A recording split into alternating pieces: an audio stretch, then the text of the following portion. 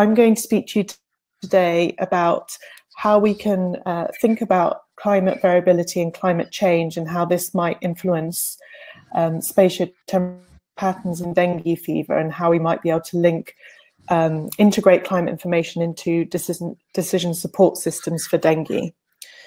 So here we can see a graphic um, showing the change in uh, global uh, temperatures from 1850 um, through to um, 2018. And each stripe here, this um, these graphics are referred to as the warming stripes, and, and each stripe shows us the average uh, global temperature um, spanning um, well over a century. And we can see this very marked, uh, dramatic sort of warming trend over the last 30 years. And at the same time, um, the global distribution of de dengue has expanded uh, dramatically. So in the 1970s, around uh, nine countries reported severe outbreaks of dengue. And uh, now um, over 120 countries are reporting this. And this is mainly due to uh, the, the distribution of the Aedes mosquitoes that transmit the disease and the way they've been able to um, expand their range to uh, many different uh, geographies. So we know that the expansion of um, arboviruses like dengue isn't just uh, due to the climate or environmental conditions, it's also due to the way that people live.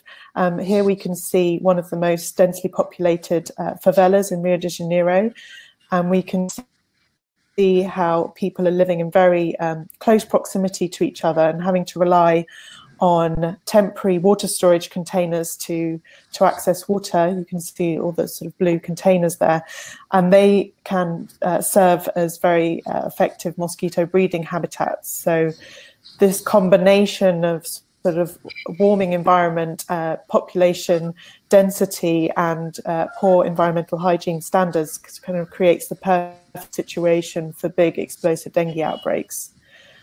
Uh, we also know that the global spread is due to the increased uh, movement of people from one side of the globe to the other, as well as um, trade in used tires, which allows uh, invasive mosquito species to enter into previously unaffected areas. And while um, uh, climate change is causing gl global warming and more erratic uh, rainfall patterns, we're also seeing an extreme, uh, more extreme and frequent events such as hurricanes, droughts, and floods. And that's the thing that I'm very interested in, seeing how we can use predictions of these extreme climatic events to understand how this might impact the timing and intensity of infectious disease outbreaks. And we want to think about how we can make use of the wealth of environmental data that's available to us and transform this into meaningful uh, information on the ground and to be able to in, uh, be able to intervene at the local level and try and understand when we might uh, be at higher risk of dengue outbreaks. We want to try and shift from a situation where we're relying on um, surveillance data only, um, or we're sort of overwhelmed by an epidemic, which is really what's happening in the current situation. Uh, and we want to be able to shift from this surveillance framework to a prediction framework by incorporating uh, climate information, um, which can give us some predictive lead time based on the sort of natural lags in the system that you get between an anomalous climate event and how that might affect mosquito populations and feed through into increased reported cases in the hospital. And we want to increase that lead time even further by using forecasts of the climate, while at the same time being able to understand and communicate the additional uncertainty, the uncertainty that we introduce into our models by using uh, forecast uh, climate. So the idea is to try and link any sort of early warnings that we can make of increased risk to early actions so we know when and where we can intervene or perhaps uh, if, when we are in a situation where we have limited resources we can direct those resources to the places at greater risk uh, this is an example, um, a schematic of an early warning um, system that we put together for Brazil. Um, and this system is set up so that three months in advance, um, you can incorporate uh, forecast climate information of the next three months. um, with the uh, case surveillance data you have at the time that you want to predict to give you some indication of um, increased incidence, um, we combine this information together to make a probabilistic prediction um, three months in advance. This is an example that we did um, for Brazil, combining uh, seasonal climate forecasts, uh, data from the Ministry of Health, uh, to make an advance warning for dengue. And then after the event, we were able to compare. Um, this was uh, we we put the forecast together for the uh, 2014 World Cup. Uh, when more than 3 million travelers uh, came to Brazil and uh, were distributed among the sort of 12 different cities that were hosting the games. And after the event, we were able to compare the observed cases to our uh, probabilistic forecasts and see the areas where our model did a good job at predicting a high risk um, of dengue. And we found that on average, the, our model did a better job than just using seasonal averages alone. And since uh, the time of uh, that forecast, our work has been progressing, and we're seeing that uh, dengue is expanding beyond its sort of traditional boundaries. Uh, so there was these sort of natural barriers to diffusion um, in the south and in remote areas of the Amazon because the climate conditions were less suitable or because there were very sort of uh, limited transport links. But gradually, as the temperature is getting warmer, as Brazil is becoming uh, more connected and linked, uh, we're seeing they expand into other areas. And uh, Sophie Lee is conducting her uh, PhD research, uh, looking at trying to understand these uh, the, the expansion of dengue and thinking about how the role of uh, human mobility, mobility and connectivity, how this might combine with environmental suitability to allow this expansion.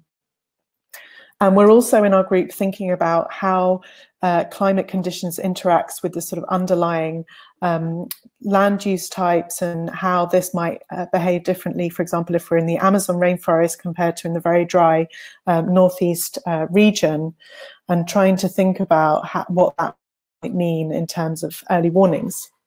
So one of our active research areas at the moment is trying to understand um, if droughts might be exacerbated uh, dengue risk in Brazil. So some of our previous research has, uh, we found a, a link between um, drought conditions followed by warm and wet conditions causing uh, the optimum uh, conditions for dengue outbreaks in Barbados.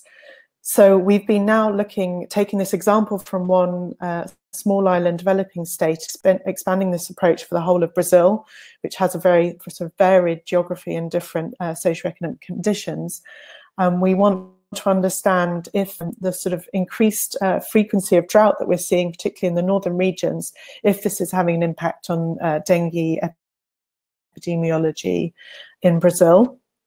Um, here we can see a map showing uh, levels of urbanization uh, across Brazil. So we can see uh, there's uh, much more uh, people living in urban areas in the in the southeast, for example, compared to parts of the northeast and, and the Amazon rainforest. And uh, we're exploring how this might be related to things like water storage practices. So we can see that generally more sort of at the microregion level, we have like five 158 microregions across Brazil. At this level, we can see that um, access to the water network is uh, a lot higher in more urbanized areas and a lot lower in these uh, sort of rural areas, particularly in the north. And we want to understand how uh, these hydro hydrometeorological extremes, such as droughts and floods, might interact with this underlying uh, socioeconomic conditions. So we've been applying a um, a modeling framework where we're combining distributed lag nonlinear models with our sort of Bayesian probabilistic prediction framework um, and exploring how uh, extremely wet conditions and extreme drought conditions might impact uh, dengue relative risks and what kind of uh, timeframes are involved. And we found that in urban areas, it um, very short lead times uh, extremely wet conditions exacerbate the risk of dengue, whereas rural areas, areas that have less access to um, um, piped water network, we're seeing that at uh, longer lags, uh, drought conditions are exacerbating this risk of dengue. And this is uh, very interesting that we're finding similar patterns that we found in Barbados and very interesting to see this differential pattern between urban and rural areas. And that might imply that different um, intervention uh, strategies need to be designed depending on, on where you are.